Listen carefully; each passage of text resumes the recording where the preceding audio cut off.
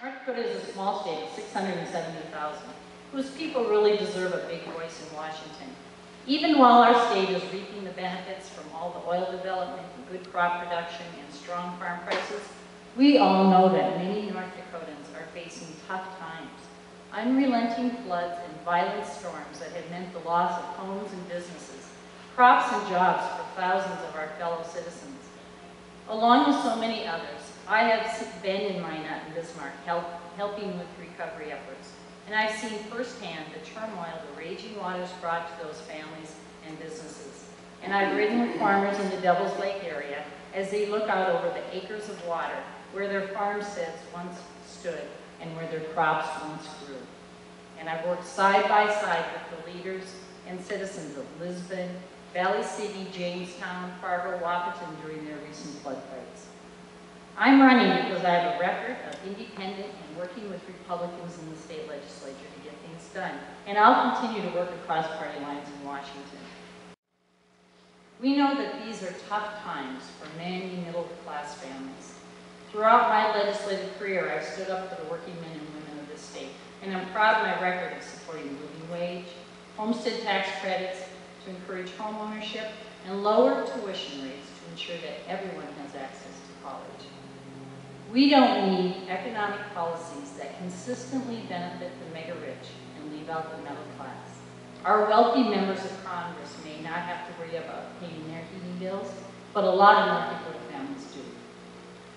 Some folks think that America's best days are behind us, but I am just not one of them. Having come so far, how can we be so foolish as to say we can go no further? Debt and deficits make us le less competitive, and they hold us back from advancing this nation in the world market. We need to stop all of this ridiculous political posturing and adopt a long-range plan of debt reduction and tax reform. Agriculture is the driver of the world's economy, and nowhere is that more evident than right here in.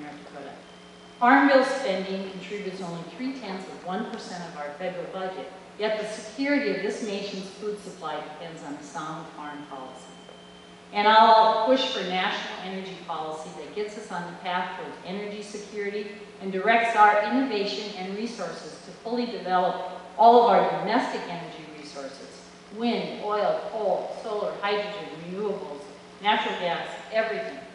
We'll create jobs and wealth and we'll bring security to this nation.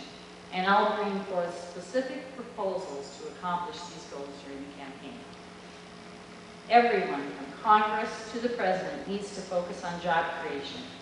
Through the vision and efforts of Senator Byron Dorgan, we've been building a future for world-class innovation and technology through the Red River Valley Research Corridor, and you only need to look across the street to see how far we've come. And we need to shut down the activities of Wall Street con artists, whose greed nearly collapsed the American economy. The road to economic health doesn't run through Wall Street. It runs through our main streets and our manufacturing, where real people make real things. So we must do these things and so much more to get our country back on track and to continue our pursuit of the American dream, because that is our heritage. Instead of lamenting all that is wrong, let's build on that which is right. Instead of drawing lines in the sand, let's work together to find common ground and real solutions to our common problems.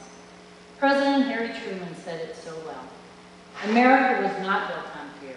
America was built on courage, on imagination, and on an unbounded determination to do the job at hand.